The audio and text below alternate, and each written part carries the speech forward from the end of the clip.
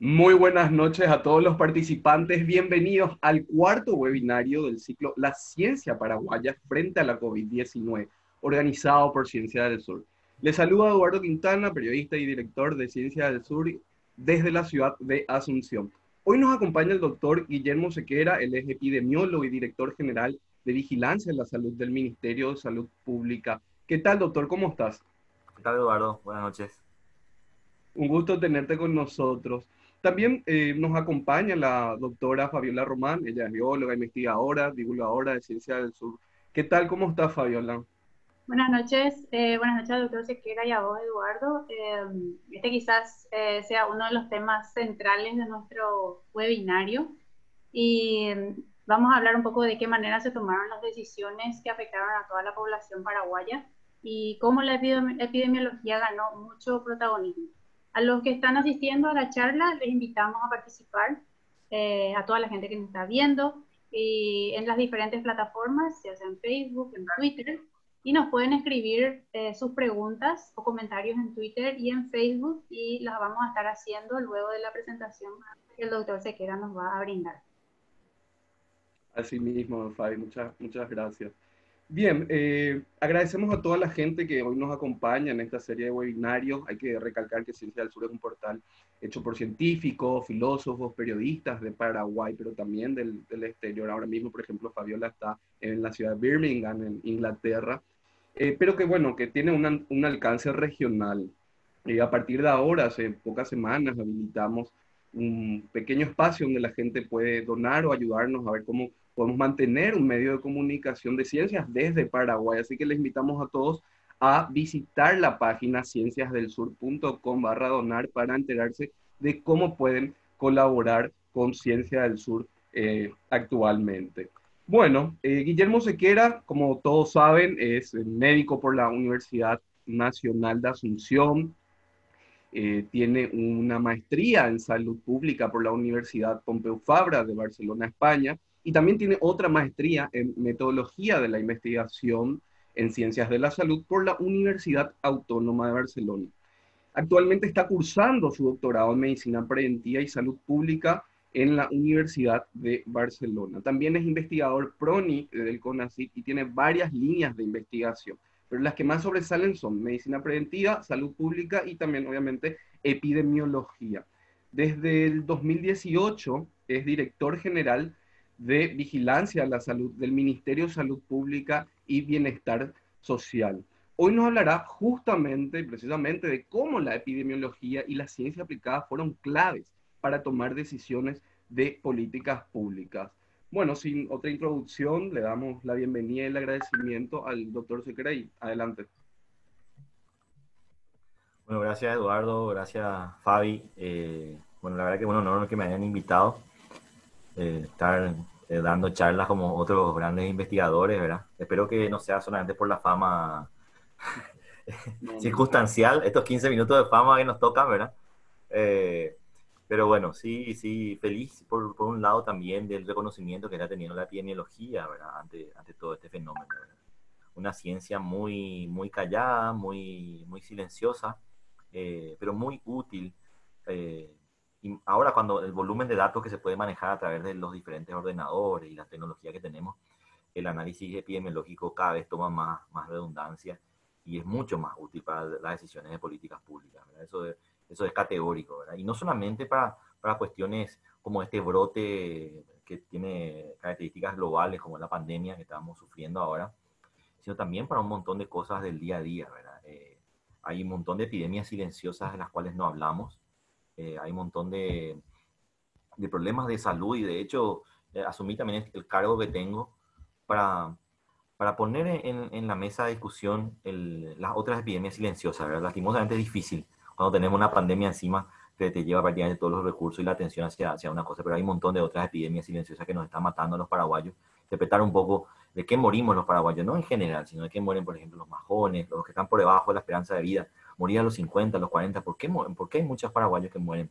Y tenemos una de las esperanzas de vida más bajas de, Sudamérica. Eh, eh, parte de, premisas que, se responden desde el punto de vista de la epidemiología y entender ¿verdad? por qué ocurre eso, vas, vas decantando a las raíces del problema, que son finalmente los determinantes sociales, ¿verdad?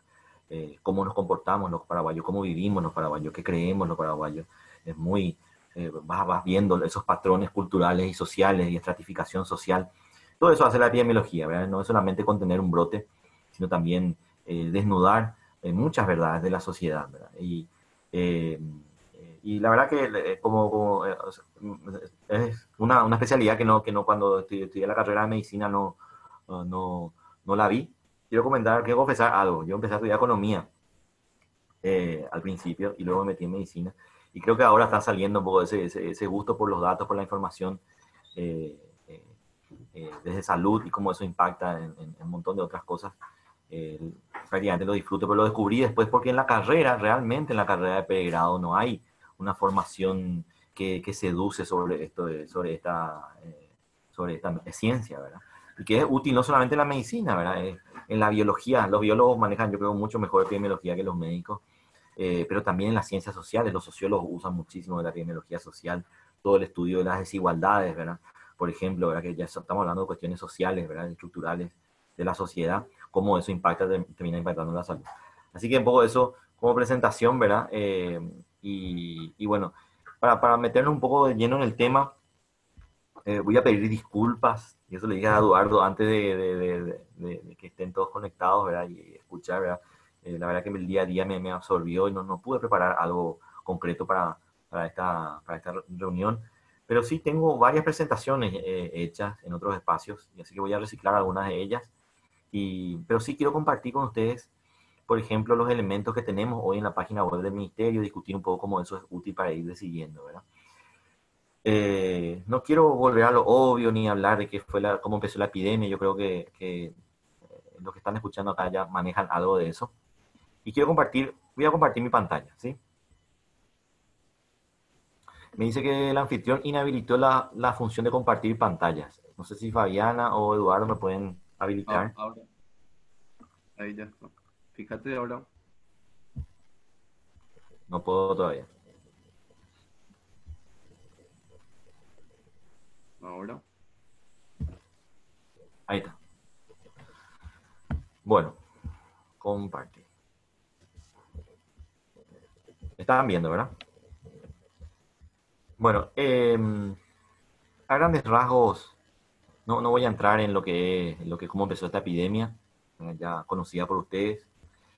Em, los eventos, diferentes eventos históricos desde China hasta Paraguay, yo sí quisiera recalcar el, nuestra, nuestra situación allá por febrero, nosotros veíamos que esta enfermedad iba a entrar principalmente por Ciudad del Este, ¿verdad? Ciudad del Este es la ciudad más cosmopolita del Paraguay, con mayor gente migrante viviendo ahí de diferentes comunidades, eh, con una conexión con San Pablo mucho más cercana vía Foz, eh, una ciudad mucho más cosmopolita. O sea, nosotros teníamos, eh, estábamos casi convencidos de que el primer caso lo íbamos a tener ahí, Así que todas las fichas pusimos ahí y todo el esfuerzo fue eh, tratar de trabajar de manera articulada con FOS y todo esto. Eh, todo el trabajo de fronteras. Em, y bueno, al final el primer caso tuvimos en Asunción. También creíamos que el primer caso iba, iba, iba a ser de, prácticamente empresarios que van a la China, que van a Corea, que van a Italia, eh, y que, que podrían traer y que iban a ser los hospitales privados los primeros que iban a tener casos, ¿verdad? Y, bueno, y de hecho fue así. El, bueno, el primer caso no, el primer caso vino de Ecuador, y acá me voy a meter un poco en un fenómeno que ocurrió y no, nos, descolocó un poco, según todos los patrones que, que estábamos viendo. Eh, un caso que venía de Ecuador, de un país que, que, no, que no tenía circulación comunitaria. En ese momento tenías apenas, apenas seis casos, eh, o, o, menos de diez. Y, y, pero bueno, nosotros teníamos un caso que, que no, estuvo ni en contacto con nadie, en, en, otra ciudad prácticamente, y que había venido de Ecuador, ¿verdad? Nos dio un problema diplomático porque Ecuador no reconocía y bueno, fue, hubo tensiones con la que fue ministra de Salud y que, que luego tuvo, bueno, estuvo denunciante, por, por, la verdad que en Ecuador se, se les escapó de las manos un poco en, en, en un primer momento. Y días después teníamos otro caso también de un país que decía que no tenía circulación comunitaria, que tenía muy pocos casos en la comunidad, y en ese momento y que realmente había ingresado al Paraguay 15 días antes. O sea que 15 días antes estuvo en Argentina y en Argentina había menos casos registrados aún. Estaban prácticamente todos concentrados en Buenos Aires. O, eh, y bueno, Esto un poco, parte un poco también de entender toda esta dinámica es eh, entender tus limitaciones en leer tu contexto, ¿verdad? Eh, Paraguay estaba librando una de las epidemias más grandes de dengue de la historia que tuvimos. La verdad que eh, fue más grande que esa del 2012-2013, que tuvo más de 200 muertos. Esta epidemia que hoy ronda los 70 muertos fue de un serotipo eh, bueno, digamos, la, del 2012-2013 fue un serotipo más grave, por eso mucho más muertos, pero menos casos en general. En esta, tuvimos muchísimos casos. Teníamos semanas que teníamos 30.000 casos en una semana. Entonces, y de, los que se registraban, imagínense eh, que nosotros siempre somos conscientes que vemos la punta del iceberg. Entonces, probablemente eh, esta epidemia tuvo eh, por lo menos cuatro o cinco veces más estos, los números que nosotros tenemos registrados. dentro de ese contexto teníamos nuestro primer caso, nuestro segundo caso y ambos de países que dicen que no tenían circulación comunitaria. Lo primero que nosotros hacemos antes de, echar la culpa a los países es, bueno, y bueno nos, nos, remitimos un poco también a, a, los datos de la, OMS o lo que reportaban los países en la OMS. La OMS eh, marcaba ahí, Ecuador en ese día decía que solamente había transmisión local y, y en Quito, que era en ese momento. Y nuestro, nuestro primer caso tuvo en Guayaquil, nada que ver. Eh, en Argentina, solamente casos importados en ese momento. Poquísimos casos. Y nosotros ya teníamos, hacía 15 días, él estuvo en Argentina y tenía... Entonces, todo daba a entender o, caía para que nosotros eh, entendamos el contexto en el que estamos y aprendamos o, por lo menos asumir de que probablemente nos podría estar ocurriendo lo mismo. Podríamos estar teniendo circulación comunitaria eh, y según las recomendaciones globales, eh, no, no es momento para hacer cuarentena. Cuarentena vos haces cuando, o sea, las medidas no farmacológicas de contención del virus, de mitigación prácticamente, y y más allá de la contención que estábamos haciendo, eh, se, se, aplica eh, cuando, cuando la eh, ocurre la circulación comunitaria. Nosotros no podíamos demostrar que no teníamos. De hecho, le estábamos demostrando a los países vecinos que tenían circulación comunitaria. Entonces, un poco pecando quizás de, exagerado y no minimizando, entramos, fuimos uno, de los primeros países de, de, de, este hemisferio en entrar en cuarentena y luego unos días después se declara la pandemia, Hasta ese momento no había la pandemia. Bueno, y a partir de ahí empezamos a hablar de los famosos picos, ¿verdad? Eh, y quiero compartir un poco con ustedes aquí un, un, gráfico muy bueno de, de, New York Times ya de unos meses, donde cuestionaba un poco eh, la, los, cómo, cómo, cómo pronosticaban diferentes universidades del mundo, MIT, Columbia, ¿no? Eh, y el Instituto de Health Metrics, eh, que es uno de los mejores en todo lo que es este tipo de pronósticos. Em, fíjense eh, la diversidad de patrones que, mostraban, ¿verdad? Em, y lo que era la realidad, los puntos negros ahí, ¿verdad? La realidad totalmente otra y las diferentes universidades y los mejores centros de investigación del mundo como modelaje, todos los modelos, eh, mm, partimos de que todos los modelos son incorrectos. O sea, aprender a convivir con esa incertidumbre fue todo un ejercicio, ¿verdad? Y también el ejercicio, digo, eh, de todos los científicos, cuando los científicos empiezan a discutir es fascinante y es lo más productivo que puede ocurrir, pero cuando empiezan a discutir en las redes, generan hinchadas, ¿verdad? Y las hinchadas son las, las que prácticamente no, no, no, no hacen, hacen creer que la ciencia eh, eh, la, debilidad de la, la ciencia son, es su contradicción y justamente la contradicción y la duda eh, y los argumentos encontrados son los cimientos y son los pilares de la, de, la construcción científica. Y eso es muy difícil de transmitir en comunicación de manera masiva, ¿verdad? y por eso es lo peligroso de lo que está ocurriendo a nivel global. por eso esas, parece esas contradicciones que tiene la OMS eh, o, los diferentes mm, centros de investigación en el mundo, pero en realidad son discusiones totalmente válidas y ninguno de ellos tiene la razón. Y no porque uno de ellos eh, acertó, digamos, era más válido que el otro. Eh, es un poco entender la incertidumbre de lo que está ocurriendo a nivel planetario, ¿verdad? Em, y bueno, y nosotros, imagínense, las autoridades metidos en ese, en ese, en ese, en ese fuego cruzado, ¿verdad? De, de la incertidumbre tratar de tener directrices claras la gente no le gusta tener, tener, dudar, cambiar, que el tapaboca no sirve, que primero no solamente lo sintomático y ahora no, ahora tenemos que usar todo, ¿no? Esa construcción de la evidencia que se va dando a nivel global, planetario, ¿verdad? Eh, eh, es, genera, a, la gente le, le, genera mucha, mucha incertidumbre y, y, nos cuesta, la verdad que nos cuesta.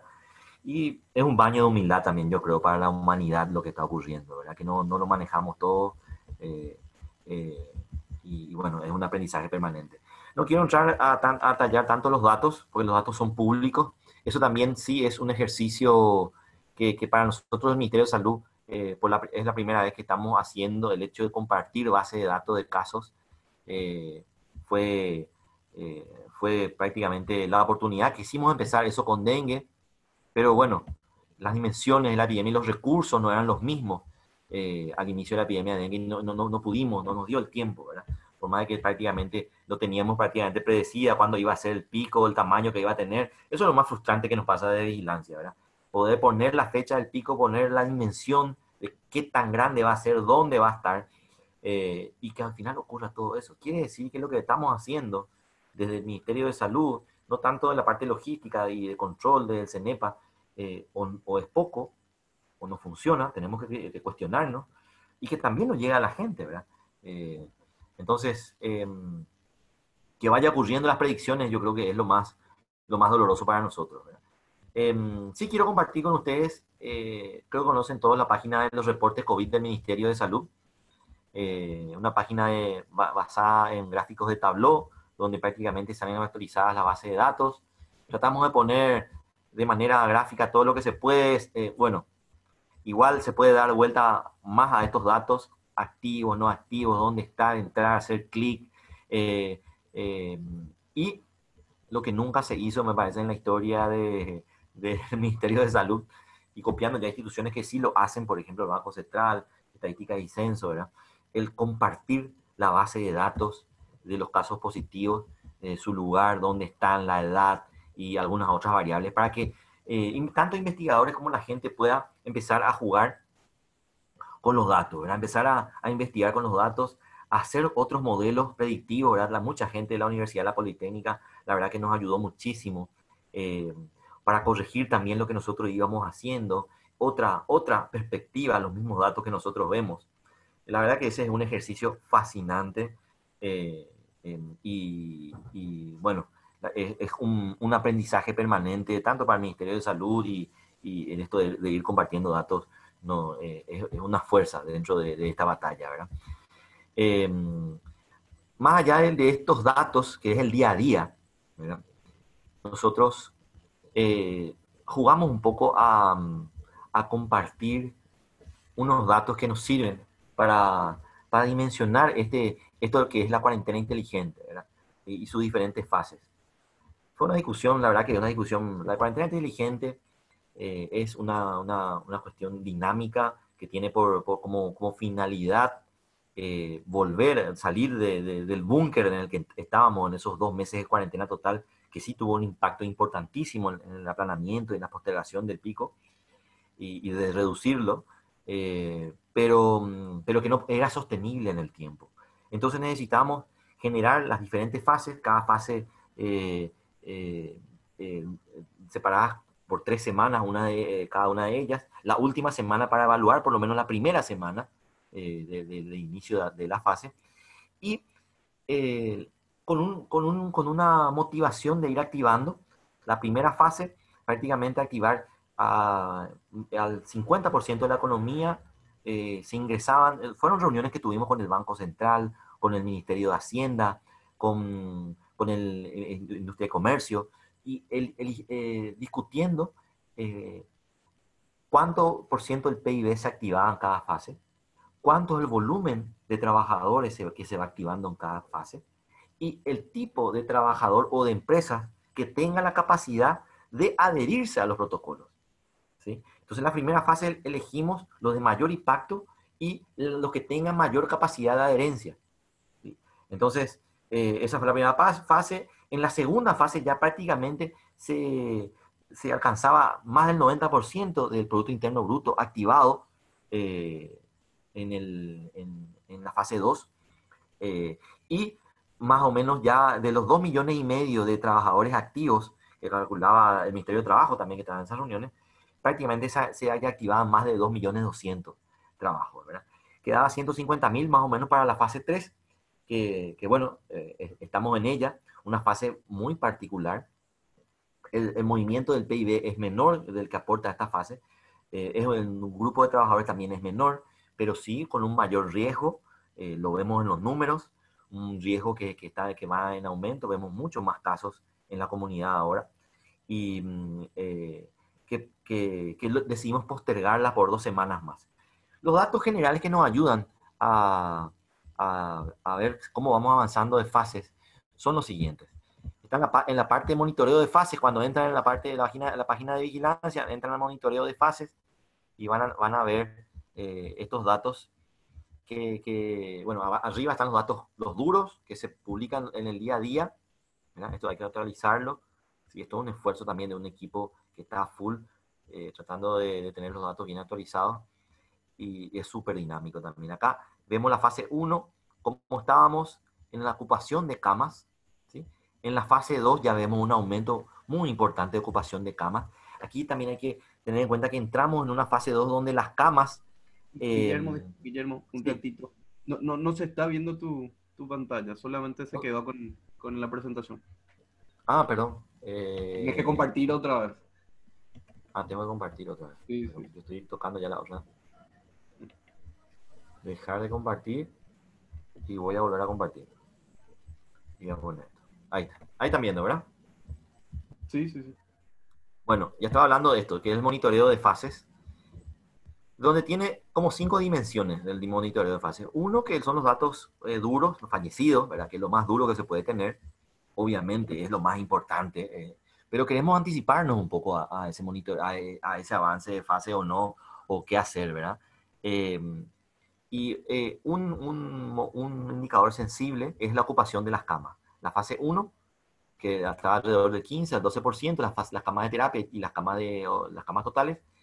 Y en la fase 2, donde ya estamos acercándonos al 40% de camas eh, de UTI ocupadas, eh, creo que en la fecha están ya cerca del 50%, y alrededor de 23 las camas totales. Queremos, queríamos también tener un indicador un poco más sensible que las camas. Esto ya es un paciente que está internado. Lo más duro sería el fallecido, este es el que está internado. Y lo más sensible, antes de estar internado, es el nivel de consulta por cuadros respiratorios. Y vamos a ver acá a la izquierda un aumento progresivo. En negro, los, que son los, adultos, y en azul, los pediátricos. Un aumento de semana a semana cada vez más progresivo. los descensos son los fines de semana y luego los lunes como que hay un pico y así vemos un aumento. Aquí a la derecha vemos un comparativo. Comparativo ven en rojo, para ver, dimensionar un poco cómo fue el 2019 en rojo, y en oscuro el 2020. O sea, cierto, a la izquierda vemos que hay un aumento progresivo en el número de consultas, pero si comparamos con el año, el año anterior, por lo menos, estamos prácticamente a la cuarta, la quinta parte del año anterior, el nivel de consultas que hay en los servicios. La verdad que vemos un descenso impresionante de consultas, no solamente, es cierto, en un momento de la primera fase de la epidemia, nosotros pedimos que la gente no consulta por, por cuestiones menores, ¿verdad? Eh, pero desde la fase 1 eh, prácticamente ya estamos haciendo un llamado a que la gente vaya a consultar y esto se ve, eh, se ve prácticamente en los indicadores. Igual como, como se ve, es prácticamente una cuarta parte de lo que fue el año anterior. Pero esto es el que se fue ya a la urgencia. Y después tenemos otros indicadores que el que no se fue todavía a la urgencia y está llamando al 154. Son indicadores que tienen menos limitación, pero son sensores también de, o termómetros de lo que está ocurriendo en la comunidad. Eh, con un síntoma, depende del color, con cuatro síntomas, ¿verdad? Prácticamente bastante estable, con un aumento leve en los últimos días. Y también se llama por otras cosas. Acá llamaba más también por otras cuestiones de dengue, que vayan a fumigarle a su casa, ¿verdad? La gente llama 154 por un, por un montón de otras cosas. Eh, pero eh, la verdad que hay un descenso en las llamadas al 154 en las últimas semanas. Y aquí ya un monitoreo más epidemiológico de las fases, lo que fue la fase 1, van a fijarse de que prácticamente eh, en azul, eh, todos los casos eran en azul, que significa eran casos que ocurrían en albergue. En la fase 2 ya fue mutando, rotando un poco el patrón y ya vemos cuadros, eh, contactos y sin nexo en la comunidad. Y la fase 3, que ya ahora estamos ya en la cuarta semana de la fase 3, un patrón totalmente diferente. Muy pocos casos en los albergues y prácticamente la gran parte de ellos en la comunidad. Entonces, una rotación y vemos acá a la derecha el RO, ¿sí? El famoso RO que mucha gente lo, lo habla, eh, un RO efectivo donde eh, eh, estamos viendo el total país en, en, en oscuro y en gris por diferentes modelos, el CEIR y el ¿sí? por debajo de 1.5 el total, que incluye, que incluye los albergues, que incluye todo, lo que incluye la penitenciaría, lo que está ocurriendo en el país a nivel nacional. Está a nivel total, digamos, es aceptable. Y un RO que sí está por arriba de 2, eh, si, nos, si nos fijamos exclusivamente en lo que está ocurriendo en la comunidad, tenemos un RO que está por encima de 2. O sea, eso significa que una persona sí, con, sí o sí contagia a dos personas o más, 2, algo, ¿verdad? Eh, en la comunidad. La comunidad está, está viendo un aumento del RO efectivo de manera muy importante eh, y lo que habla de una, de una, de una mm, circulación comunitaria obviamente efectiva. ¿verdad? Y a partir de, con todos estos elementos, tratamos de hacer un poco de predicción con diferentes modelos. ¿verdad? Esto, el equipo de planificación, el equipo de vigilancia también, eh, está ayudándonos mucho también eh, Pastor Pérez, ¿verdad? Con, que tiene experiencia también con contactos con la Politécnica haciendo, por ejemplo, diferentes modelos eh, predictivos de lo, cómo van a ser las camas en la siguiente fase, ¿verdad? cómo van a estar ocupadas. Eh, no sé por qué no puedo bajar acá. Me están siguiendo, ¿verdad? Se puede ver. Ahí. Eh, ¿Cómo va a ser la ocupación de camas prácticamente para la próxima semana por COVID? Y vemos que hay un aumento en los diferentes modelos. Se puede hacer un promedio también de estos diferentes modelos, pero prácticamente todos van a hablar de un 4 o 5%. O sea, eh, el escenario no es catastrófico para lo que son las camas para COVID en, para las próximas semanas, ¿verdad? No nos podemos ir muy lejos. Eso yo siempre digo también, eh, los modelos predictivos. Podemos hacer modelos predictivos que nos digan qué va a pasar acá en noviembre, diciembre. Se pueden hacer. Pero como les mostré, son todos incorrectos y lo único que generamos es más, más sensación de incertidumbre y, en términos comunicacionales es muy delicado manejar esto. Por eso es importante, eh, el Ministerio de Salud puede hacer esto, pero es importante que la universidad, que los centros académicos hagan esto. Este es un pedido que estoy haciendo. Porque los centros académicos, las universidades, la Politécnica, la Facultad de Medicina, eh, públicas, privadas, ¿verdad? empiecen a jugar, los datos son públicos, eh, la información nosotros la cedemos, si son las vías son las correspondientes, eh, y todos los análisis predictivos que se, que se, hacen y que hay en las redes eh, son bienvenidos. Pero estaría bueno que, que los investigadores se, se, pongan en esto. Vi varios proyectos del CONACYT que, que, se animan a jugar un poco con estos datos y hacer, eh, hacer darle el impacto económico a esto, darle eh, el impacto en un montón de otros elementos más allá de la salud, eh, de lo que es la, esta pandemia en el Paraguay, ¿verdad? y bueno, todos estos análisis obviamente van a ser bienvenidos y van a, ser, van a servir para, para, para, para ir avanzando en las diferentes fases. Eh, sabemos que todo el modelo, esto es súper dinámico. Las camas, por ejemplo, quiero comentarles que van cambiando, va a haber un aumento de camas, así que probablemente eh, el denominador de estos indicadores cambian otra vez. Hay camas que, se van, van a ir sumando. Eh, también depende también de la situación epidemiológica, no solamente al seguir avanzando en fases, están ocurriendo otros fenómenos de la salud que, que, requieren de camas de terapia que nosotros guardamos para COVID, pero al final decidimos, bueno, no se está usando tanto COVID, vamos a, a liberar otra vez. En invierno es muy frecuente que ocurran los ACV, los derrames, ¿verdad? Es el periodo en que ocurren más ACV y se necesitan más camas para esto. Volvimos a activar la economía, entonces empezaron a volver los accidentes de tránsito, ¿verdad? Tuvimos prácticamente dos meses con un 25 a 30% de reducción de los accidentes de tránsito. En vez de tener tres muertes por día por accidentes de tránsito, empezamos a tener uno o dos, ¿verdad? Entonces, eh, esto significa que un montón de camas de terapia intensiva dejaron de ser utilizadas, se guardaban para COVID y ahora nos estamos dando cuenta de que tenemos que reacomodarla. Entonces, estos indicadores son muy eh, modificables, ¿verdad? Todos, todos tienen sus argumentos y, y prácticamente todo está aquí publicado. Al, al, final hay un PDF que explica que uno puede descargar y poder interpretar cómo, cómo leer cada indicador, ¿verdad? Eh, yo creo que esto es un ejercicio, Eduardo, quiero ir terminando aquí, ¿verdad? Eh, eh, muy interesante de, de, cómo, de cómo ir, ir eh, voy a poner acá, de cómo ir, por un lado, compartiendo la información. Eh, el tiempo real nos, nos, desgasta muchísimo, ¿verdad? Pero por lo menos periódicamente estar actualizando lo, lo, lo, que va a modificar planes principalmente. El día a día, el tener el día a día es un desgaste, el, el equipo la verdad, voy a ser sincero, está muy desgastado de tener los datos lo más finos posible. Eh, por un, un, momento era el tweet del ministro, eh, ahora es ya la página del ministerio. Eh, es un, un, desgaste muy, un trabajo muy intenso, tenerlos correctos.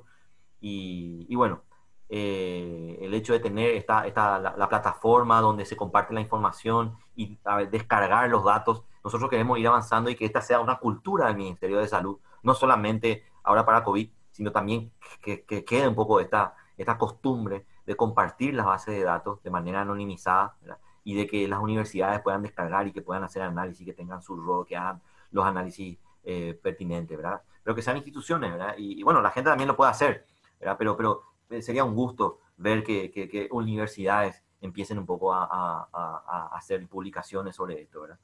Como hacen otras universidades del mundo. Y me quedo ahí, Eduardo, Fabi, no sé si hay preguntas. Perfecto, perfecto. Muchísimas gracias, doctor, por tu presentación brillante, muy escueta, bastante bien eh, elaborado, a pesar de que dijiste que no, no lo podías hacer. Eh, lo hiciste bien, te agradezco por, por eso y por, por, tu tiempo. Sí, hay, hay un montón de preguntas, eh, doctor. Eh, también Fabi ya está viendo las redes sociales, tratando de, de, clasificar algunas preguntas. Vamos, vamos a comenzar con las preguntas que hicieron los, editores de, de, Ciencia del Sur. Lo primero es algo, algo muy básico, es se trata de cómo, cómo hicieron en, en, tu dirección de vigilancia sanitaria para tomar estas decisiones. ¿Trabajaste con un grupo multidisciplinario que asesoró al, al ministro de, de, Salud? ¿Cómo, ¿Cómo fue esto? Porque te conocemos a vos, tenemos a vos epidemiólogo, pero sabemos que hay otros profesionales también de, de otras áreas. Bueno, eh, por un lado, tengo que, que, admitir de que tengo en vigilancia un equipo fascinante, la Dirección de Vigilancia de la Salud, eh, siempre me jacto que es una de las direcciones del Ministerio de Salud eh, de más alto nivel técnico que, que, que, existe en el Ministerio. ¿verdad? Me van a odiar las otras direcciones, pero eh, siempre repito esto. Eh, yo creo que una de las direcciones que más PRONI tiene, de hecho, eh, es una dirección que cuenta tanto como médicos, como biólogos, bioquímicos, también de otras áreas tenemos economistas, eh, eh, ingenieros, eh, la verdad que hay de todo. Eh, sí, hay más gente de, de, la salud, obviamente, gente de enfermería también, licenciados. Hay, hay epidemiólogos, hay una formación en epidemiología, programa de epidemiología de campo, que es una formación avanzada en epidemiología como una, como una residencia que dura dos años de formación. Uno tiene que ser un, entre, un, un, un entrenado en epidemiología en, en nuestro país. Es una una persona que lleva dos años de entrenamiento, de trabajo de campo y, y clases teóricas, ¿verdad? Es un curso que se empezó con ayuda de, del CDC, el Centro de Control de Enfermedades de los Estados Unidos, de la red TEFINET, eh, en el mundo, ¿verdad? De formación de epidemiólogos. Y mm, se empezó allá por el 2009, 2010, y ya tenemos diferentes cohortes de grupos que fueron saliendo, ¿verdad? Son grupos de cinco o seis personas más o menos de cada año se van formando y nos ayuda muchísimo, ¿verdad? Eh, bueno, ahora tenemos eh, seis chicos que están haciendo, están ya empezando su segundo año. Y bueno, les toca trabajar en la, la, pandemia. Es muy particular su formación este año, ¿verdad? Y bueno, esos son los epidemiólogos de formación de epidemiología de campo, ¿verdad? Eh, pero pero esta, esta, esta situación nos llevó a abrir eh, vigilancia a otros sectores, obviamente, eh, trabajando con, con, la Secretaría de Planificación del Ministerio de Salud, donde sí tenemos eh, que compartir el, el, diálogo, la mesa y, y los datos, ¿verdad? Y revisar los datos con, con, economistas, más con economistas y con ingenieros. Eh, eh, y la verdad que es compartir con ellos también es fascinante, y más cuando vienen del área de, de la investigación, ¿verdad? Como, o, o como antecedentes de, docen, de docencia, ¿verdad? Como el director de planificación fue mucho tiempo Emiliano Fernández, eh, también investigador, profesor, ¿verdad? Entonces, eh, Elizabeth Barrios también, ¿verdad? Entonces, eh, la discusión se hace mucho más productiva eh, y también eh, el hecho de tener contactos internacionales. Primero, por un lado, la OPS, la Organización Panamericana de la Salud, es una plataforma muy importante para ponernos en la mesa a dialogar a los expertos en esta área, eh, por lo menos en la región. Y, y, luego, luego están los contactos personales, ¿verdad? El hecho de haber estado mucho tiempo fuera, eh, eh, y haber trabajado en epidemiología y todos, todos los epidemiólogos que conocí durante mi carrera también eh, estaban todos en la misma situación. Eh, uno de mis mejores amigos en epidemiología de Brasil le tocó ser director de vigilancia de la salud también en su momento. Bueno, ya renunció, ¿verdad? Porque hubieron unos cambios ahí, pero estábamos en consonancia a nivel global, varios epidemiólogos, hacíamos reuniones, compartíamos información, compartíamos datos, compartíamos análisis. La verdad que hoy esta costumbre también de reunirnos por, por plataformas como esta eh, ayudaron muchísimo al intercambio de, de, conocimiento, inclusive de base de datos y de reinterpretación de, información. Eh, bueno, eh, esta dinámica es muy vertiginosa, marea un poco, pero, pero es muy, muy, muy útil. Guillermo, otra pregunta de los editores. Eh, en los últimos días hubo mucha ansiedad con respecto al pico, para que llegue el pico de la enfermedad en, Paraguay. Vimos incluso algunos titulares en medios tradicionales que alertaban sobre el tema. Eh, ¿Es esa una forma correcta de pensar? ¿Podemos hablar de un solo pico o son varios?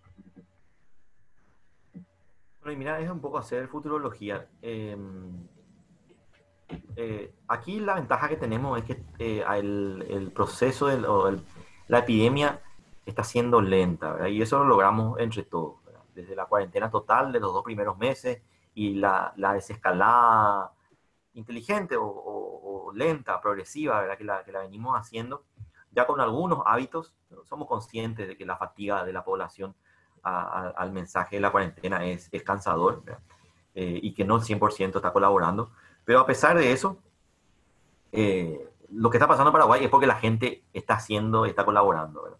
Entonces, es muy difícil ver, eh, predecir en esta situación donde hay muchísima modificación del efecto de la, de la epidemia.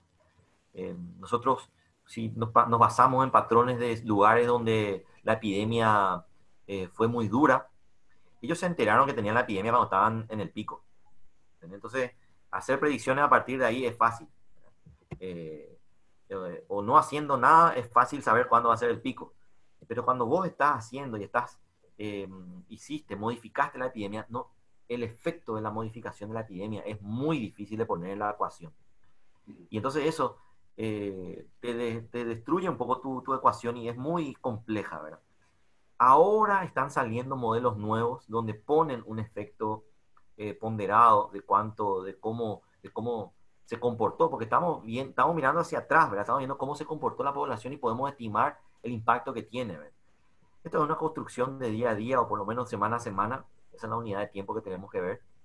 Y a partir de ahí ver eh, cómo, va a ser. El pico se va a dar, va, a ir en aumento, eh, pero podemos controlar eso. Podemos, eh, hoy le mostraba al ministro, justamente antes de venir a hablar con ustedes, cómo Paraguarí a pesar, recordarán todo el caso de, del militar en Paraguay, en San Roque González. Pero Paraguay tenía un aumento progresivo, el número de casos iba aumentando, iba aumentando. Después tuvo el boom de casi 50, 60 casos relacionados al militar. Pero si vemos la historia, el histograma muestra un aumento progresivo. Esa ciudad y Paraguay entró en cuarentena dos semanas. Prácticamente dos semanas que no, o sea, los casos solamente los casos relacionados al, al brote.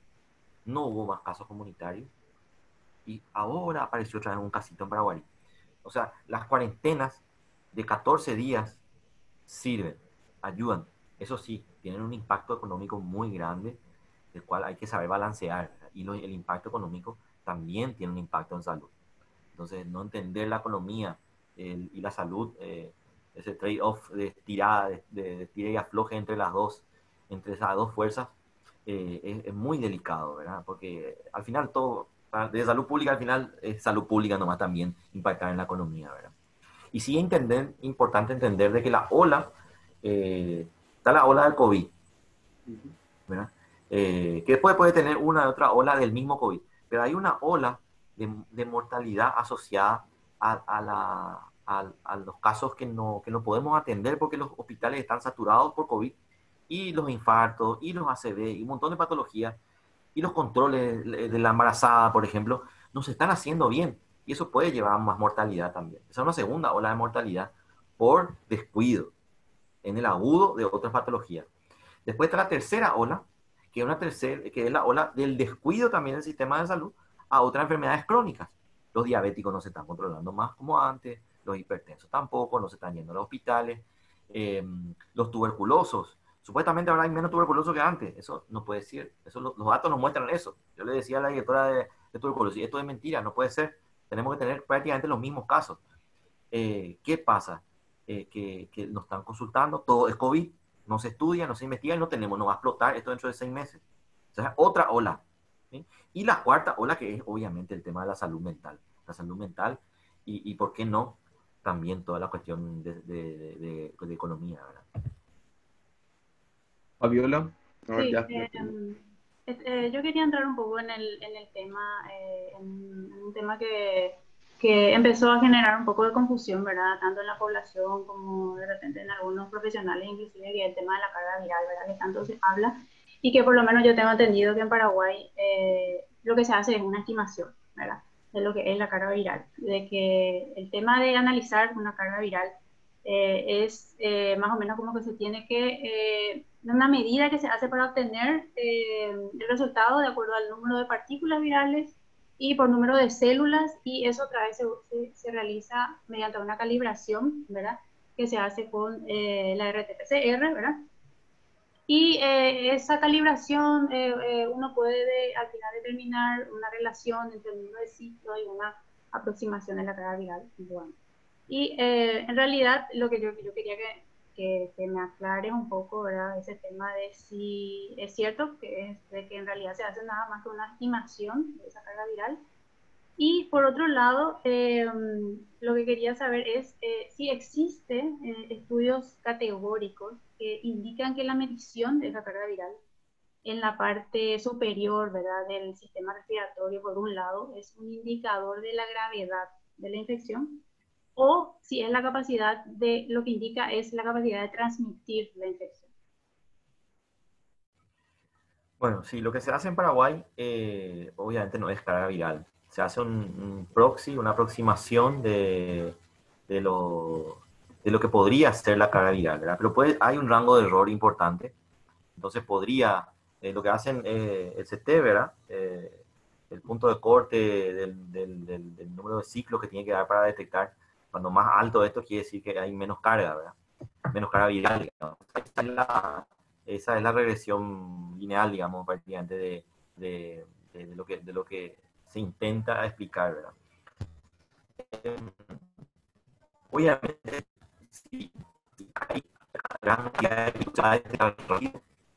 eh, con pocos ciclos, entonces podemos asumir que ciclos bajos pueden ser eh, alta carga. Eso eh, es así, hay varios estudios que lo, que, lo, que lo dicen, ¿verdad? Pero siempre te muestran un rango de error, ¿verdad? Un rango de error que puede ser que alguien te salga y no tenga. Pero la mayoría de los casos, ¿verdad? ocurre ese patrón, ¿verdad? Eh, estamos aprendiendo sobre este virus. La verdad que cada, cada día hay alguna novedad y, eh, hay, mucha incertidumbre, ¿verdad? Pero bueno, em, quiero, no, me acuerdo. La otra pregunta era si eso se relaciona con la capacidad de contagio, por ejemplo. Sí, por ejemplo. Eh, mira, lo que sí se ve que el, hay varios estudios que muestran que los que tienen permanentemente alta carga viral, parece que pudieron detectar la carga viral real, eh, en vías aéreas superiores eh, son los que son los, pacientes críticos. Obviamente los pacientes que no pueden controlar la infección y que sus defensas no pueden eliminar o limpiar al cuerpo del, eh, del virus. El virus sigue replicándose en el cuerpo humano y, bueno, siguen detectables. esos son los pacientes críticos. Y el paciente crítico en todo el momento que esté crítico por la patología COVID, obviamente va a ser contagioso. Entonces, eh, hay un, no sé si hay una, hay una figura, puedo compartir con ustedes, pero bueno, quizá me voy a liar más, em, donde, se muestra interesantemente cómo las características clínicas los críticos son los que más pueden contagiar durante más tiempo y donde más, durante más largos periodos pueden tener el virus eh, detectable. Y así, cuando eh, sintomáticamente es más leve, hasta el que es asintomático, el que tiene el virus y no se entera. Ese es, eh, a ese podemos encontrar, inclusive podemos encontrar de carga alta, pero en menos días, eh, probablemente entre 4, 5, 6 días como mucho, desde, desde la exposición. eh, que, podría tener carga viral. Y podría tener alta carga viral, ¿por qué no? Claro que sí. Y la, la, la carga viral es como una, también como una, como una campana de Gauss. Hay un momento en que la carga viral es alta y hay un momento en que la carga viral es baja. No es que uno tiene carga alta y para el día siguiente ya no tiene más carga viral. Eso, eso, eso no, no, ocurre, ¿verdad? Entonces, no es que un paciente es carga alta, no. Un paciente tiene un momento donde tiene una carga viral alta y un momento donde tiene una carga viral baja. Otra cosa que se está confundiendo mucho es eh, el nivel, eh, ¿cómo se llama este indicador? Eh, no me acuerdo, voy a decir con mis palabras, el, el nivel de contagiosidad, ¿cómo sería? El índice de infectividad, no me acuerdo, pero en realidad es cuántas partículas realmente contagiarle a la otra persona. ¿Sí? Y eso a veces no puede, puede que no esté relacionado con la carga viral. Depende del tipo de partículas, depende de un montón de otras cosas. Entonces, eh, hay muchos conceptos ahí muy finos que, que, que, yo creo que los biólogos manejan mucho mejor y los químicos mucho mejor que yo.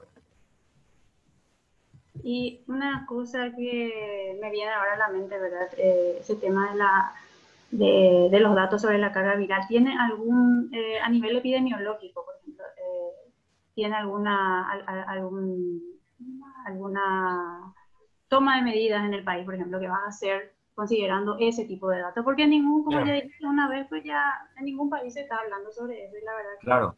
Eh, sí, es un dato, es un dato lo, lo, lo, de la carga viral, en realidad el CT, vamos a hablar del CT, que parece que es la carga viral, el CT. El dato que nosotros tenemos concreto es el CT, que es el, eh, el número de ciclos, ¿verdad? Eh, es un dato nosotros vemos que tiene un patrón de comportamiento, es cierto, los grandes brotes probablemente tienen un CT eh, bajo, o sea, parece que hay alta carga, pero eso no define en la estrategia epidemiológica que uno que tiene CT bajo, bajo ah, entonces no le vamos a estudiar los contactos, o le voy a estudiar menos, ¿no? A este dos, tres contactos nomás, no sé si total no. Ah, que tiene carga viral baja, ah, bueno, a este le voy a llevar un ejército, le voy a TTA, no. A todo positivo le tengo que testar por igual. Porque yo entiendo esa carga viral como un ciclo. Yo cuando yo tomé la muestra, me salió que tenía carga viral alta o me salió que tenía carga viral baja. Entonces yo no puedo, y pero si él podía hacer cuatro días del virus, tenía altísima viral, solamente que ya capté cuando estaba bajo. Entonces no puedo yo minimizar, porque es bajo. Entonces, la estrategia epidemiológica no cambia. A mí me interesa si es positivo o negativo. ¿Me querés contar la carga viral? Genial, vamos a ver, podemos hacer un paper desde el punto de vista investigativo, pero como decisión de la epidemiología y la intervención en el trabajo de campo no, no, no cambian mucho. Y también para la persona. Mira, tener un CT alto, tener un CT bajo, bueno, en realidad quiero saber si eh, estoy grave o no estoy grave. Eso es lo que le interesa a la persona. Que eso se correlacione con mayor gravedad o menor gravedad, podemos ver después. Pero a veces no se correlaciona. Entonces, es una variable que está jugando ahí, que yo creo que sirve más para la investigación que también hay que hacerla, no estoy, no estoy negando, es algo que hay, que hay que hacerlo, hay que publicarlo, tenemos ese dato y, adelante investigaciones de ese tipo. Bueno, Fabi, tenemos ya las preguntas del público, parece que seleccionaste algunas. Antes, antes de, que, de que selecciones, quería preguntar, otra de las preguntas de nuestros editores es, eh, con respecto al uso de la hidroxicloroquina y de la ivermectina, tanto como profiláctico como, como tratamiento en sí, ¿qué medidas o cuál es la postura del Ministerio de Salud al respecto? Porque hay papers encontrados de, que se contradicen, ¿verdad? Sobre el uso como profilácticos y tanto como, como tratamiento, doctor. ¿Se sigue usando la hidroxicloroquina en el hospital de clínicas, por ejemplo, para los médicos? ¿O, cuál, cuál, es la medida que se toman en estas últimas semanas? Sabemos que esto cambia muy rápidamente, los papers se actualizan a veces semanalmente, algo inédito en la historia de la ciencia, pero bueno, en Paraguay, ¿qué, qué, se hace al respecto? Sí, y no estamos acostumbrados a tanta, demasiada incertidumbre, ¿verdad? Em, bueno, en nuestro país la recomendación, nosotros íbamos a sacar un protocolo y luego, la verdad que tuvimos que frenar como el protocolo, eh, sí, las cosas que ya hay evidencia, la anticoagulación, por ejemplo, eh, eh, por ejemplo, el, el prono de los pacientes que están en terapia intensiva, ponerlos boca abajo. Para hay algunas cosas, ¿verdad?, que sí tienen evidencia del, para el manejo del COVID. La, la, dexametasona también, Hay, hay, algunas cosas que de muchas, de hecho, muchas de ellas se están utilizando eh, y mostró su aporte real. Eh, con la hidroxicloroquina lo que estamos haciendo es, se está utilizando, pero se usa en los casos que están internados, principalmente los que están en terapia intensiva. No estamos utilizando de manera masiva, como en un momento se pensó. No estamos utilizando para los casos leves y menos para los asintomáticos, pero sí una persona con riesgo, que esté internada, que ya esté con alguna complicación o alguna comorbilidad, sí utilizamos, porque realmente no tenemos mucha evidencia, pero sí de manera masiva no estamos utilizando, no, no recomendamos su uso. Lo mismo que con la ivermectina. No su uso, es cierto para los casos que tienen pinta que se van a poner graves, porque también, ¿qué pasa? Cuando están muy graves también ya es muy tarde. Es muy tarde utilizar estas drogas. Pueden complicar más. Entonces, uno tiene que ver un poco el pronóstico. Eh, un paciente, por ejemplo, adulto mayor, eh, tiene síntomas leves, eh, que ya empieza a tener una mecánica respiratoria que está complicada, todavía no está en la ventilación, todavía no entra terapia, quizás hay que empezar mecánica. esto es poco lo que se está manejando. sé que hay un, hay un, protocolo de investigación aprobado por CONACYT de uso de hidroxicloroquina, pero bueno, mientras esté dentro de, del margen de un protocolo de investigación eh, eh, y la prudencia del protocolo lo, lo permite, eh, siempre va a ser bienvenido el, el uso de nuevas, de nuevas tecnologías, de nuevos medicamentos, de nuevos procedimientos. Fabi, adelante. Tenemos una pregunta del público entonces. Una de las preguntas del, del, de los participantes dice Andrés Moyoli, ¿cuáles son las condiciones mínimas para volver a una fase 2? Se está volviendo una entrevista del canal, parece. Eh, bueno, eh, acá lo importante es hablar e entender los casos, dónde ocurren, cómo ocurren y en la dinámica que se dan. Y siempre pongo un ejemplo de lo que pasó en San Roque González. San Roque González, una población pequeña de 11.000, 12.000 habitantes, que en dos días tuvo 60 casos. Eso te genera una tasa de incidencia mm, superior a 500, casi 600 por, por 100.000 habitantes. La más alta que tuvo el territorio nacional eh, en nuestro, de, todo lo que, de todos los casos donde hayamos tenido.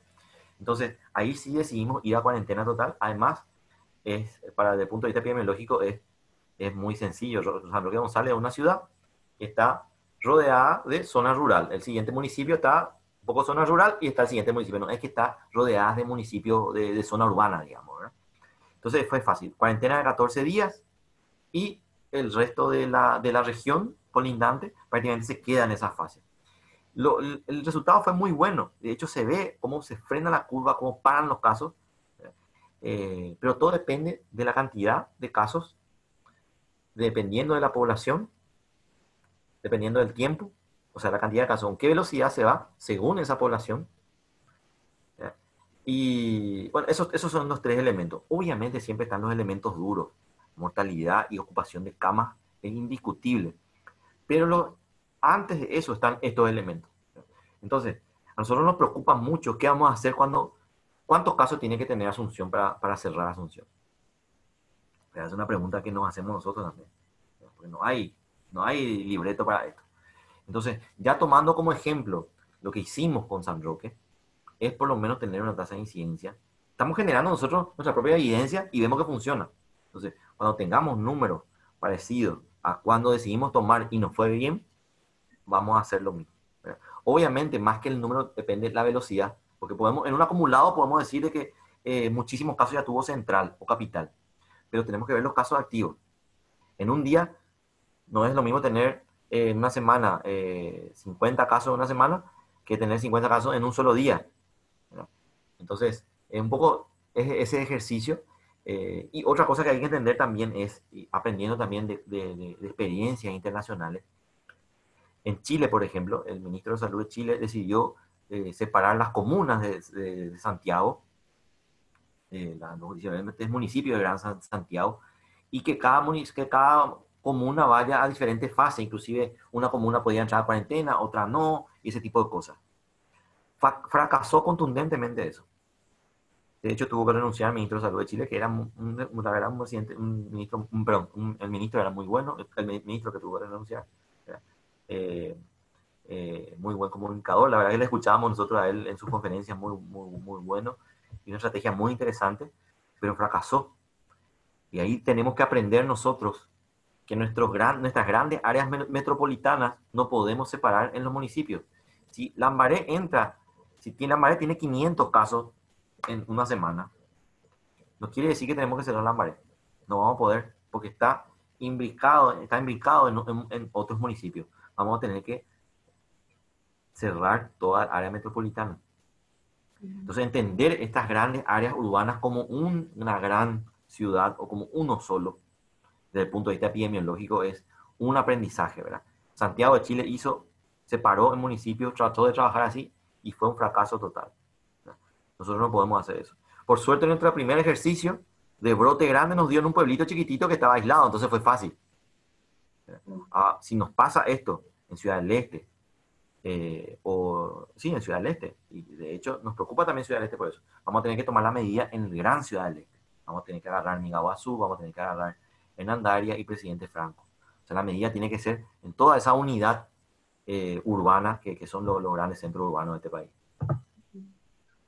Hay una pregunta sobre los eh, los test de anticuerpos que si tienen alguna validez actualmente en Paraguay, si eh, aún son los kits que tienen reacción cruzada con dengue. Bueno, los, test de anticuerpos son todo un tema, ¿verdad? Un debate a nivel global. Eh, ¿Son útiles? Sí son útiles, pero son útiles más desde el punto de vista epidemiológico. A mí como director de vigilancia sí me gustan los, los test porque voy a poder hacer en diferentes fases de la epidemia, uh, puedo hacer muestreos poblacionales y tener una prevalencia del número de casos antes del pico, durante el pico y después del pico, por ejemplo. Y es algo que estamos planificando para hacer.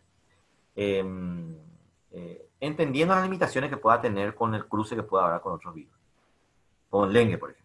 En el sudeste asiático hay varios artículos donde muestran que los test cruzan eh, los anticuerpos en los lugares donde hay dengue. Entonces al primer mundo le sirve porque en el primer mundo generalmente en el norte no hay dengue y los test son re útiles. En cambio acá, como tenemos dengue y justo este año tuvimos la peor epidemia de dengue en los últimos 10 años, medio que no, no, nos sirve tanto, pero bueno, no nos queda otro, es lo que hay. Hay que entender todas las limitaciones que tiene este, esta herramienta. El test de anticuerpos, yo eso quiero que los infectólogos también comenten, ¿verdad? ¿Cuándo hacemos anticuerpos a virus respiratorios? No, no, se usa casi. no, no es que no los hay, los hay. Pero si una persona tiene influenza, no te hace no te hace el anticuerpo para influenza. Nunca. Los mejores infectólogos de este país no te piden anticuerpo para influenza. Te piden detectar el virus de la influenza eh, eh, con el hisopado, que es la misma técnica.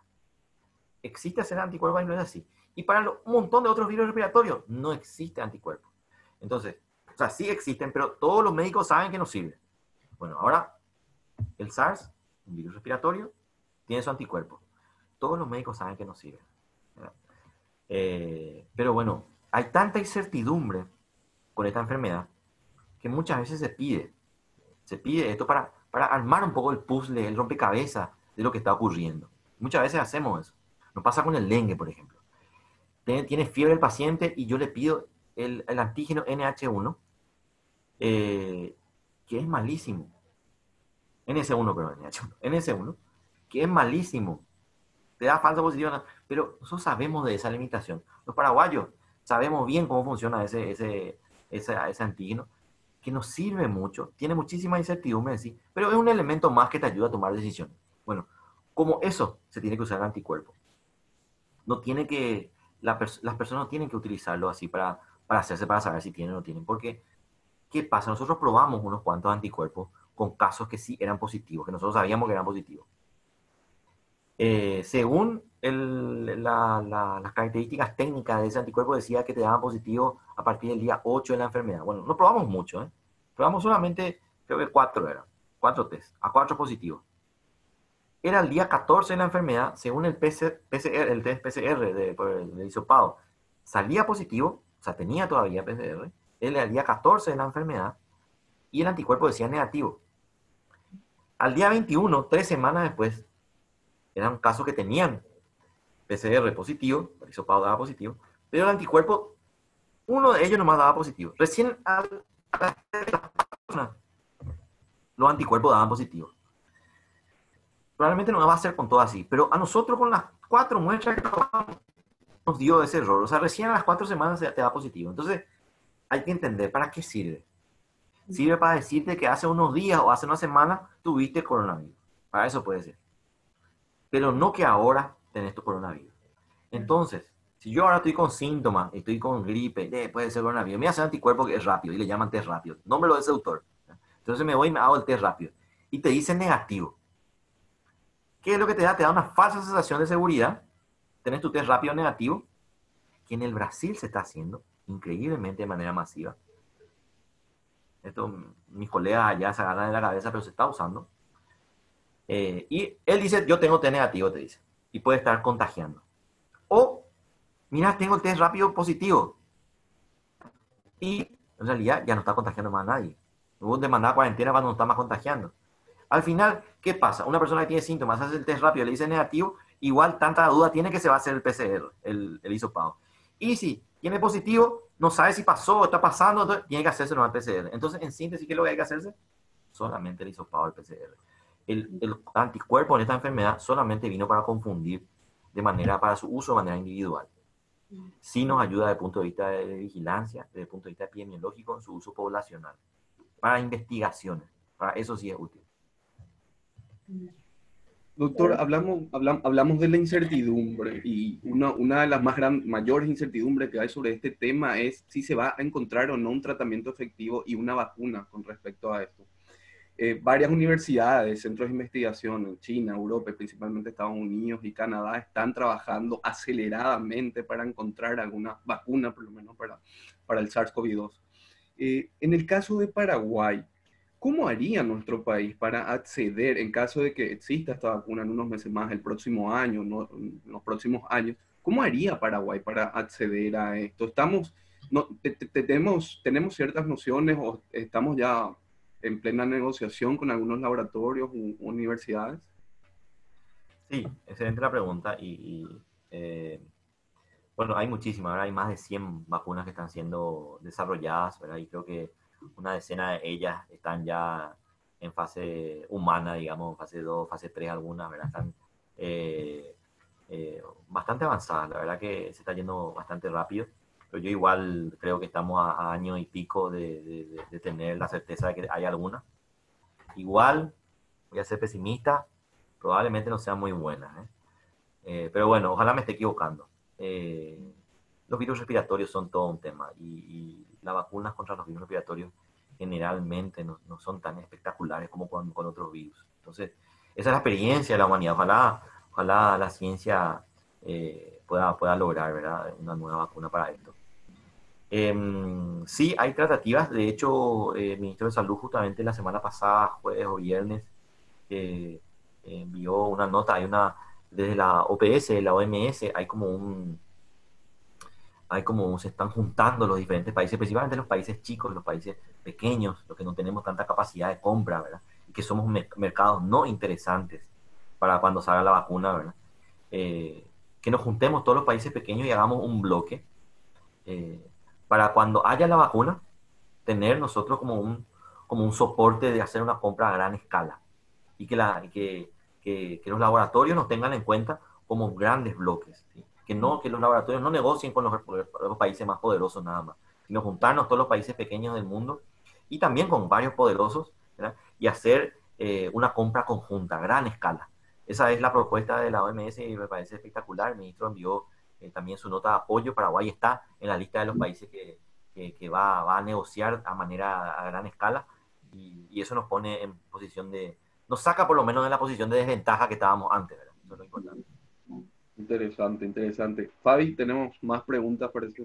Sí. Eh, Giovanni Bernici eh, dice si tenemos un RO por cinturones regionales. Sí, hay. Eh, tenemos RO por regiones, tenemos RO por nosotros separamos al país en, cinco regiones, un poco con la experiencia de otras enfermedades, eh, y principalmente también por mosquito, ¿verdad? Eh, parece que estamos hablando totalmente de otra cosa, pero en realidad lo que define las epidemias es la epidemia. O sea, eh, lo que la gente, el cómo se mueve y cómo, la conducta de la gente eh, define el ritmo de la epidemia y cómo se distribuye. Entonces, eh, nosotros separamos las regiones como, como la experiencia de dengue es una región que todo es el área metropolitana de Asunción, que incluye capital exclusiva, eh, otra que es el área de la Ruta 2, eh, todo este canal corredor de la Ruta 2 que va de Ciudad del Este, pasa por Jaguazú, un poco de Guairá y Cordillera, es todo un eje epidemiológico. Todo el eje norte, que sería todo lo que está por encima, eh, Concepción, San Pedro, Amambay, Canileyú, y el eje sur,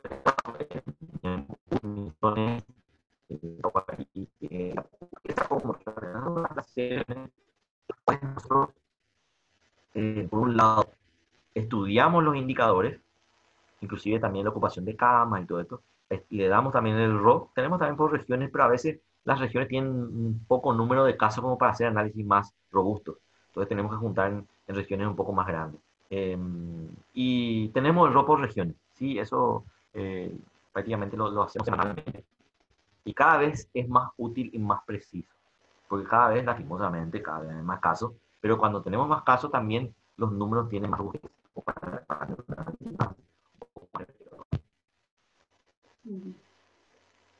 Eh, no sé si sigo, Edu, con las preguntas, porque hay muchas. Seleccioné algunas. Eh, Bernardo Julián Acosta dice, ¿cuál sería nuestro factor de subregistro? ¿Qué valor tiene? Bueno, es una pregunta de periodista también, eh, el, el, subregistro, hay una publicación que salió, salió allá por marzo, muy interesante, británica, eh, donde mostraba, en realidad eran, eran estimaciones, estimaciones de, de, la cantidad de test que hacen los países y cuánto es la brecha que tienen en llegar a lo estimado de la realidad. Porque la realidad, eh, no, no, el número de casos reales es casi imposible, ¿verdad? Eh, probablemente el único que hizo, le hizo a toda su población es Islandia, o los países islas, Taiwán, Nueva Zelanda, ¿verdad? Así es fácil contener una epidemia estando en una isla, ¿verdad? Em, eh, pero, y en ese, en, esa, en ese artículo mostraba diferentes países, uno de ellos, eh, los países que más test hacían en el mundo, por ejemplo, estaba Corea, estaba Alemania, y ellos tenían un rango de error, o sea, ellos veían prácticamente 70% de la película, 80% de la película, más o menos, un rango de error importante. Pero veían de todo el 100% del iceberg, ¿verdad? ellos veían el 80 al 70. Un panorama interesante para entender lo que está pasando por el nivel de test que hacían. Eh, y estaban diferentes países sudamericanos, nosotros no estábamos allá por marzo, hacíamos poquísimos test, pero estábamos en ritmo. En ese momento que hacíamos poquísimos test, eh, hacíamos ya per cápita, hacíamos más que Argentina y que Brasil. Y Brasil estaba en, ese, en esa publicación Argentina también con un, con un, con un rango del 10%. Mostraba que estos países de Sudamérica veían la décima parte de la epidemia con el ritmo de test que estaban haciendo. Entonces, haciendo un poco de analogía, nosotros en ese momento per cápita hacíamos prácticamente igual que ellos, hacíamos un poquito más, pero vamos a decir igual per cápita. Entonces podemos decir que en ese momento nosotros veíamos una décima parte de la epidemia. Ahora me animo a decir, ahora que estamos haciendo prácticamente el laboratorio central y todo el equipo de la red de laboratorio está sumando más de 2.000 muestras por día, ya es prácticamente normal hablar de 2.000, eh, o más de 1.000 por lo menos. Eh, eh, sí me animo a decir que vemos un poquitito más, pero la epidemia ahora es mucho más grande. El, el, el, iceberg es mucho más grande a nivel poblacional. Pero sí me animo a que estamos, eh, dejamos de ver ese 10%, quizás estamos viendo una cuarta o una quinta parte, entre un 20 y 25% del tamaño de la epidemia, que es lo que realmente estamos viendo. Y yo quería... Sí, Fabi, Fabi. No, no, no, adelante, adelante. Eh, sí, yo, yo estoy pensando más para la post-pandemia ya, doctor. Eh, esta enfermedad, ¿se sabe ya sobre si esta enfermedad deja secuelas y si en el futuro esto puede llegar a ser un problema de salud pública? Em, mira, sobre el tema de las secuelas, eh, hay mucho por escribir todavía, hay muchas aproximaciones de secuelas. Generalmente las más fáciles de detectar son las la secuelas eh, de los pacientes que estuvieron en terapia intensiva. El COVID genera una... Eh, más que una invasión al pulmón y destrucción por el propio virus, es el mismo cuerpo humano, el mismo, las defensas del cuerpo son las que bombardean ahí donde está el virus y dejan prácticamente un pulmón destruido que encima está ventilado por, un por una mecánica eh, externa, ¿verdad? por el respirador. Todo eso revienta el pulmón de la persona que tiene COVID grave. Y eso genera una fibrosis pulmonar tremenda. Esas son las secuelas, las principales secuelas que, que quedan en, en, las personas que tuvieron COVID y tuvieron internados en terapia. Y encima los que usan eh, eh, respirador se quedan dos a tres semanas en promedio. Eh, alrededor más de 14 días el promedio de ventilación mecánica de los casos que tuvieron en nuestro país y en el mundo también es igual. Entonces, esa es la mayor secuela respiratoria en los casos graves. En los casos leves hay de todo. Eh, está la pérdida del olfato, puede quedarse por meses, eh, a veces semanas nada más, pero en algunos casos se están registrando por meses, pérdida del olfato, el gusto, en también algunos síntomas auditivos como, como, como eh, algunos, algunos zumbidos auditivos que quedan como secuelas, ¿verdad? porque afectan muchas células sensoriales del cuerpo y esas son principalmente las secuelas que se van detectando. Pero hay mucho por describir, eh, hay muchas lesiones también dermatológicas, hay muchas activaciones inmunológicas. Después de tener COVID, se activa una enfermedad, por ejemplo, eh, lupus, una enfermedad autoinmune. Eh, hay mucho todavía por, por, entender de esta enfermedad y todavía nada está escrito, Eduardo. Así que atento a todos los que, a, a, a los que están con COVID, a los que ven pacientes con COVID, estar atentos a, esta, a este tipo de información. Yo creo que cada cosa que vayamos registrando, tenemos que acostumbrarnos también a, a documentar y a escribir y a contar un poco la experiencia paraguaya, ¿verdad? Con el COVID. Y, y, con el dengue, yo siempre digo, tenemos tanto dengue, tenemos que ser los expertos en el mundo del dengue, tiene que salir de Paraguay, todos los papers de dengue se tienen que hacer acá.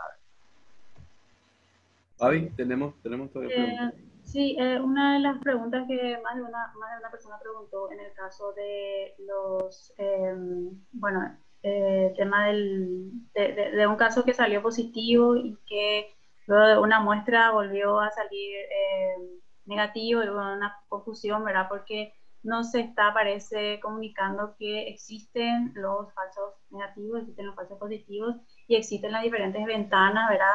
donde la PCR en realidad es, va a ser positiva y cuando ya deja de ser, o sea, lo que ocurre, si podés comentar un poco de eso, doctor.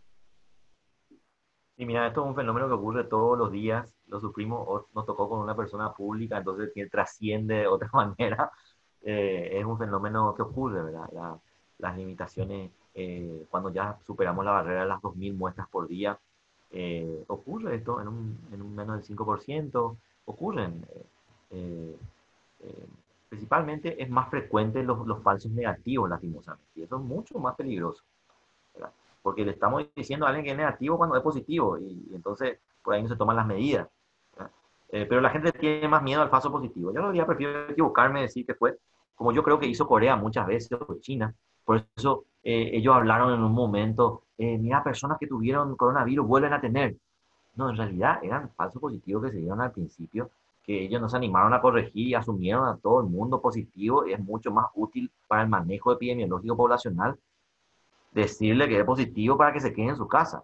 De hecho, esto lo discutimos mucho con los pares regionales.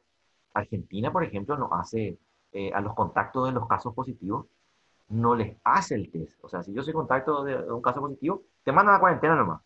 No te dicen, no te hacen el test. ¿Y por qué? Yo le decía, ¿por qué no le hacen? Porque nos dimos cuenta que le hacemos. Sale negativo, y ya creen que están libres. Mm.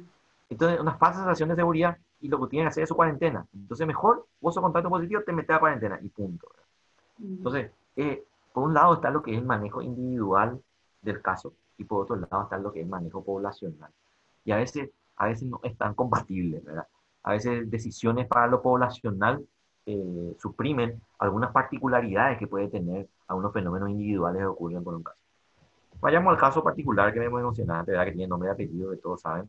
Eh, en esa situación, una persona que se hace un test a las 11 de la mañana, un jueves 9, eh, le sale positivo con, una carga viral, ¿verdad? si vamos a tomar alta, ¿verdad? si vamos a asumir esos términos, y se hace otro test 48 horas después, porque prácticamente se hace a cerca del mediodía del 11, otro test que dice que es negativo. Em, es algo como te comenté que, varias veces ya vimos. Nosotros, desde el punto de vista individual, podemos eh, asegurar a esa persona de que, bueno, probablemente, le hicimos otro test, de hecho, al día 12, al día siguiente salió negativo, esa persona prácticamente está curada. ¿sí? Con dos test negativos uno se le considera recuperado, no le contagia más a nadie. ¿Qué hacemos con el positivo anterior? Esta persona se hizo el anticuerpo y le salió negativo. Ya le expliqué antes justamente la validez del anticuerpo. No es lo mismo. Se puede hacer anticuerpo dentro de tres semanas y puede ser que sea positivo. ¿Ah? Entonces, hacerse el anticuerpo muy rápido también nos sirve. Puede ser de que haya sido un falso positivo. Puede ser, es difícil. Pero puede ser una contaminación en la mesa de trabajo del bioquímico y que otras muestras, generalmente cuando ocurre esto, varias muestras dan positivo. Puede ser que se haya equivocado el tubo, puede ser, es muy raro. Cuando maneja ese laboratorio no manejó más de 10 muestras ese día, muy difícil. Otra cosa que se esté manejando 200, 300 muestras, que se equivoque. Eh, es muy raro, puede ser que no. Yo sé que el laboratorio central está trabajando para aclarar qué pasó ahí internamente. Como hizo todas las veces que ocurrió esto. Em, entonces, eh, ¿cómo hacemos el punto de vista epidemiológico? Mejor manejar esto como algo positivo.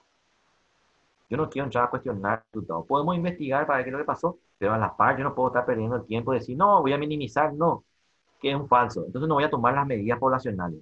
No puedo hacer, no podemos hacer. Hay un montón de otras personas que estuvieron expuestas, no importa porque sean personas más importantes o menos importantes, personas en sí, eh, que tienen que entrar en cuarentena y tienen que hacerse el test. Entonces, todo un, todo un protocolo que se activa eh, y que no, que, no, que no cambia porque, porque haya ocurrido esto. Y son experiencias que van quedando, que ocurren en todos los países. Lastimosamente, en este caso se, mezcló un poco la política también y, eso empantana toda la discusión. Ya, eh, otra pregunta que, eh, que, hicieron es sobre si se puede hablar en Paraguay con los datos que se tiene sobre que es un virus atenuado lo que está circulando. Bueno, eh, no, yo no me animo a hablar del virus atenuado. Es, una, es algo que se está hablando mucho. De hecho, escuché gente también que sabe de eso, ¿no? O sea, yo creo que no es algo tampoco agarrado a los pelos. De que en Paraguay esté circulando virus atenuado no me animo a decir. Yo creo que Paraguay está, la epidemia está tomando su cara fuerte. Hoy tuvimos tres fallecidos. O sea, esto va dimensionando, va, va aumentando. Aquí, eh, así como en Uruguay, eh, creo que las cosas se hicieron, se hicieron bien desde el punto de vista poblacional, pero eh, eh, es muy frágil. Esto en, dos semanas puede darse la vuelta a la tortilla y empezar a tener un aumento exponencial, ¿verdad? Si, no se toman las medidas, si no nos cuidamos.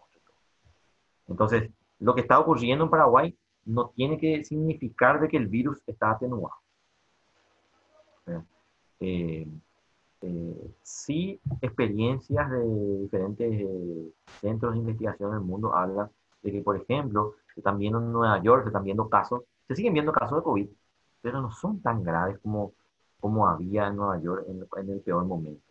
Cuando se, los pacientes prácticamente estaban todos tirados en los pasillos, prácticamente varias muertes por hora en las urgencias de los hospitales. Y ahora sí tienen un montón de gente con COVID, pero ninguno tiene esa gravedad, que es la realidad partir de ahí ellos están hablando de una mutación, pero yo creo que eh, eh, es difícil hablar de eso. El SARS-CoV-2 es un virus que muta mucho menos, que muta y mucho, pero mucho menos que influenza. Porque influenza es un virus mucho más lábil, que cambia su cara y puede ser volverse más perverso o más sano o más bonito, ¿verdad? Que el coronavirus en una epidemia, en una pandemia con más razón. El coronavirus tiene menor capacidad de mutación, está mutando, de hecho se habla de que mutó en la región, las cepas que están circulando en nuestro país y en la región son principalmente las procedentes de Europa y Estados Unidos. Esas son las que están circulando. Paraguay aportó algunos especímenes para, para hacer la secuenciación eh, y nos muestra, nos muestra eso.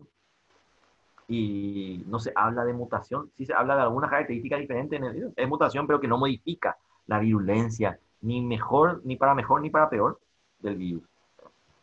Eh, bueno, eso te puedo decir. Y el doctor Hume pregunta cómo lidiaría con las fake news y con respecto a la confiabilidad del ministerio que parece que se va perdiendo. Bueno, la fake news es todo un tema, eh, el manejo de rumores en vigilancia, es toda una ciencia también. Nosotros tenemos un equipo en vigilancia que maneja rumores. El 95% de los rumores son falsos, eh, pero sí hay un equipo que está rastreando eh, por diferentes plataformas los rumores sobre de todo. ¿eh? Miren, que eh, hay, por ejemplo, mortandad de monos en, en alguna reserva forestal en la frontera con Brasil. Eh, tenemos que llevar una brigada ahí eh, para, para, ver si hay monos también muertos en nuestras reservas. Eh, eso relacionado a, las episodias, a, a, fiebre amarilla, ¿verdad? Que hace años tenemos en la región. vigilancia también está relacionado con derrames tóxicos, con, con eventos radioactivos. Hay un montón de cosas que ocurren y que se comparten informaciones falsas y tenemos todo que estar corroborando. La verdad que el equipo trabaja 24/7, en un sistema de guardia. Y a mí cuando mucha gente me pregunta, tengo que activar ese que saben y ellos están siempre actualizados. Es, es, es un, los equipos eh, tienen que tener ya, eh, los equipos de vigilancia y de comunicación en general, tienen que tener equipos que se dediquen a, a, estar filtrando ese tipo de cosas. Es, es, muy importante. Eh, con respecto a la, a la credibilidad, sí, es algo muy delicado los tres elementos para, para, para, para, que se reconocen a nivel internacional para, para controlar, para domar a la pandemia o la epidemia cuando entra al país. Uno es cuarentena inmediata. Check, hicimos. Dos, cuarentena, esa cuarentena inmediata tiene que ser intensa. Hicimos también, muy buena.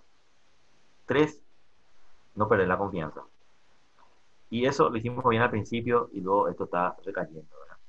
Eh, la confianza, es un elemento, eh, lastimosamente, eh, entra mucho en la cancha política. entonces, eso debilita la discusión. Hay discusiones que no se pueden dar, lo técnico se mezcla con lo político y eso es, puedo decir que es muy desagradable. entonces, bueno, desde el punto de vista de vigilancia tratamos de ser lo más técnico posible y poner eh, yo creo que lo fundamental en esto es eh, la transparencia.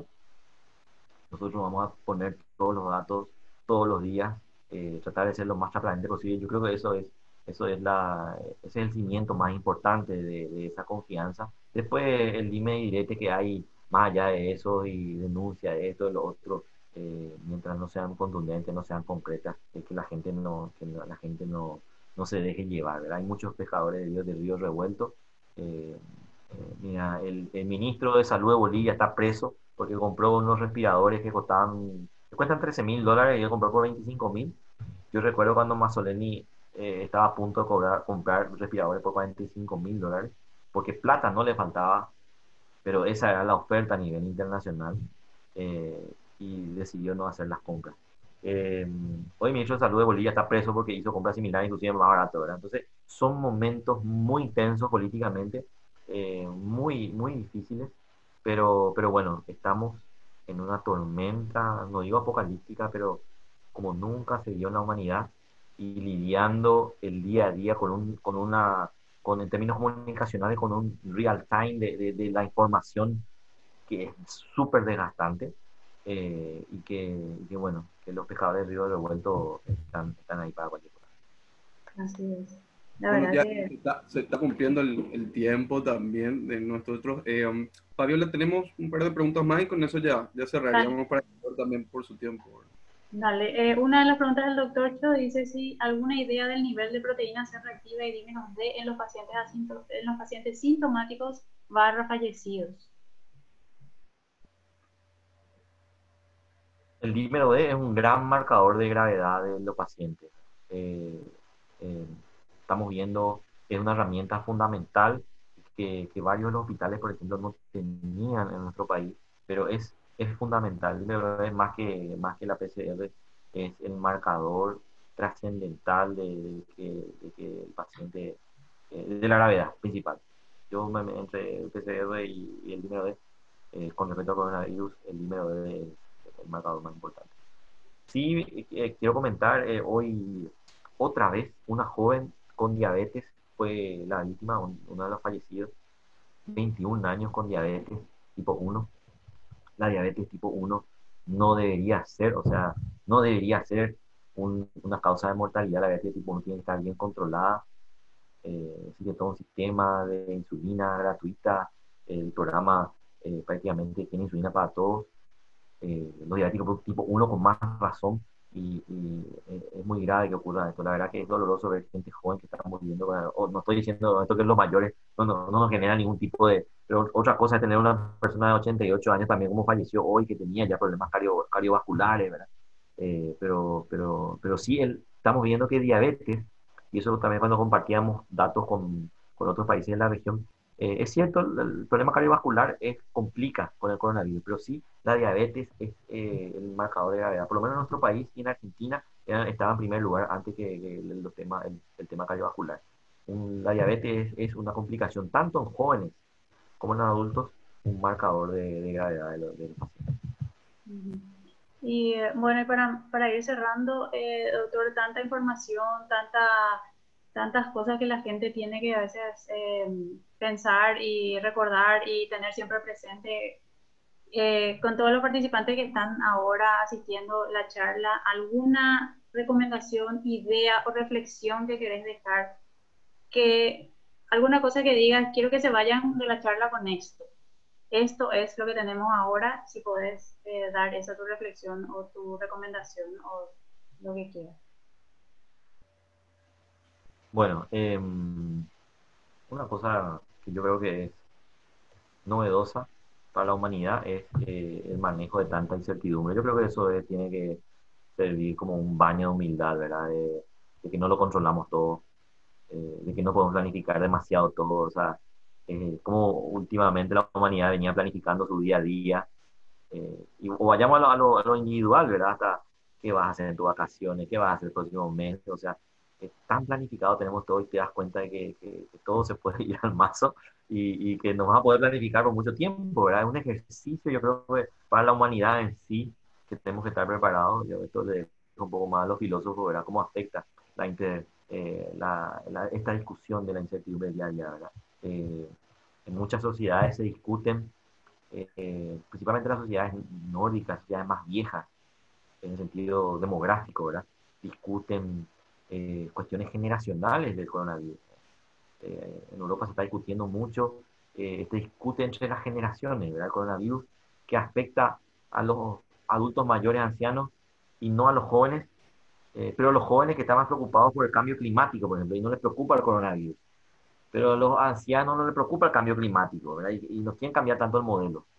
En sociedades donde hay más ancianos que jóvenes, entonces votan más ellos, entonces más, imagínense toda esa construcción de políticas a través, estoy poniendo un poco, eh, un poco más de condimento nomás a lo complejo que es para la humanidad este, este momento. Em, de, de, nuestra parte, ahora voy a hablar como, como director de vigilancia, eh, eh, decir que no se cansen de, de, los mensajes, ¿verdad? Que, no, que no, tiremos, no tiremos todo a la borda, lo bien que se vino haciendo.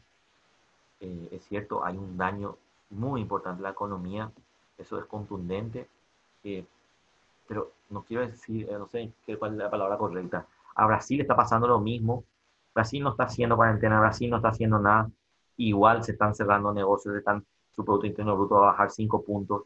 Entonces, eh, tenemos, nosotros somos el caso y Brasil tiene el, Brasil el control, digamos. Entonces, si la economía va a bajar 5 puntos en toda la región, en todos los países, si va a haber quiebre de empresas, si va a haber economía eh, destruida, porque está ocurriendo y va a ocurrir. Tener dos escenarios, quiere tener economías destruidas con millones de muertos o quiere tener economías destruidas con pocos muertos. Yo creo que yo quiero tener lo segundo. Y esto eh, lo construimos entre todos. Y una de las cosas eh, fundamentales es no cansarse del mensaje, a cuidarnos entre todos, a seguir con la cuarentena inteligente, a seguir con la fase. Yo quiero seguir avanzando en fase queremos todos seguir avanzando en fase. Yo quiero reunirme con mis amigos, yo quiero visitar a mi abuela en Villarrica. Eh, hace tiempo que no me voy, quiero hacer eso, pero eh, intentemos de que podamos hacer esto de manera inteligente, siempre con el lavado de manos, siempre con el distanciamiento social. Esto que está ocurriendo en Paraguay, de que cada tienda tenga su lugar de lavado de manos, es, yo estoy sacando fotos de cada diseño de, de, de lugar para lavado de manos, es muy paraguayo. En ningún otro país vi tanto impacto de esto del lavado de manos. Sí, el uso de tapaboca obviamente es universal, ¿verdad? pero esto del lavado de manos es muy nuestro y va a generar, está generando un impacto en salud pública impresionante. No hay más diarrea, no hay más... otra cosa que quería mostrarle, me olvidé, era la página de vigilancia. Muchísimos datos, las curvas de diarrea en los últimos años, cómo fue, cómo fue descendiendo, eh, y todo por lavarnos las manos.